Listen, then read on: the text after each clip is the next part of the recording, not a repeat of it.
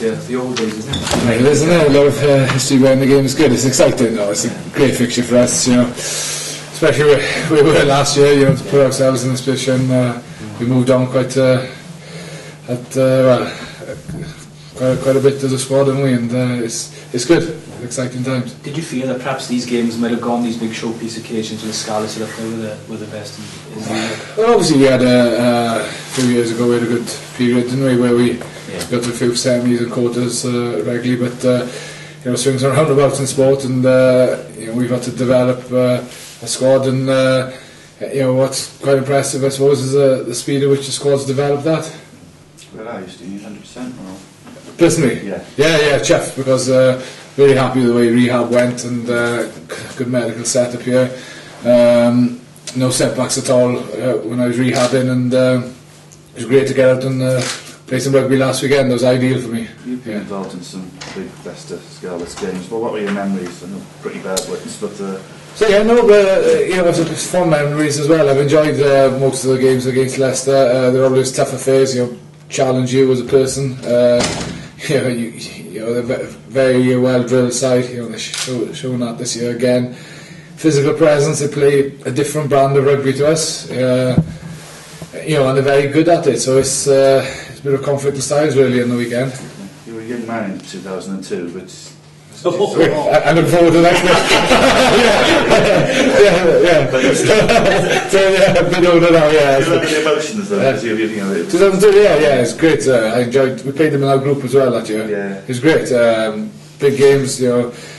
Most of the pack that year was England pack, and England were dominant at, at, at that period. It was, it was good to play against them. You know, you, you want to play against the best.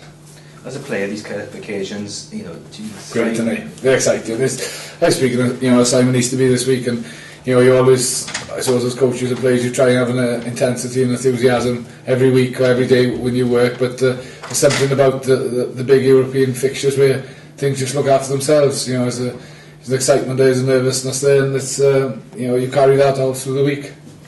What do you learn from the first game against them this season? Because that was probably uh, two Yeah. big defeats this season. That was one of them. And what do you take from that, or can you take anything? Uh, no, we can because you know, you know, we got put put on the canvas, didn't we? Let's be honest, in, in boxing terms. The first time it happened to us this year. Second time was in a league game then against in, against the Ospreys. But uh, you know, what was important then, the following game was right. What lessons do we need to learn? And let's learn them quickly because we then played the Blues away from home and won, and won that game. Um, don't get me wrong, you know, we still got lots of aspects of the game we need to improve on, but as long as we're, we're taking things from each game and, you know, I think when you lose, uh, it's a bit of a steeper learning curve, should we say. And uh, that definitely identified or highlighted parts of the game that we need to work on. You just talked about the, packing material, not being able to shy away from the physical confrontations. Do you, as a flyer, you want that, them to do that, obviously. Well, of course, and uh, you know, I think it's going to be a physical battle, obviously up front. Uh, you know, as a backline, we've got to be good defensively as well. You know, they got you look at the big carriers behind. We we can't allow them to get big game lines to get their forwards into the game. So, you know, we we've got our job to do. You know, Saturday defensively, make sure we're smart and well organised. Mm. so just bang on about your age again. Yeah, Gee, this is discrimination. here.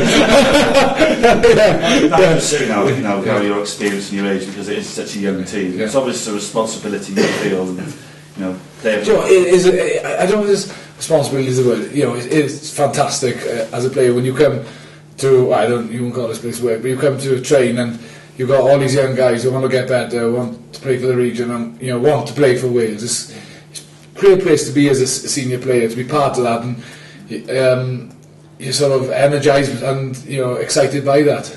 How important do you see your role in that, Steve? Because it's obviously, people will look at iconic figures at this place down years. They've always been them, but you're seen as it, you know, especially by the English journals here and all that Yeah. kind of stuff, as a guy who would You, you try, you, represent you, that tradition. I know it's you know I, I, I you know enjoy what, what I do. Si, uh, you know that. It's, sometimes it can be you, you have to be quite hard as a as a player and like you know not maybe back because that's the wrong.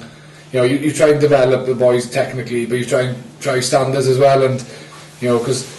Because we progress, progressing all the time, we've got to accept that what's good enough now, you know, is not where we want to be. We have to keep moving forward, and you know, I think that that's a role maybe of, a- of a senior player as well. Stephen, Yeah. um, Leicester are formidable at home. Yeah, away this year they've not been so good. Boston, Perpignan only just won trophy, so when they tried Premiership, they haven't they lost their first four games away. Does that, you know, does that give you sort of heart after Well, obviously, you know, uh, we got faith in our, our ability. You know, we learnt uh, some good lessons from Welford Road. Uh, we enjoy playing here. We've been pretty decent at home here this year.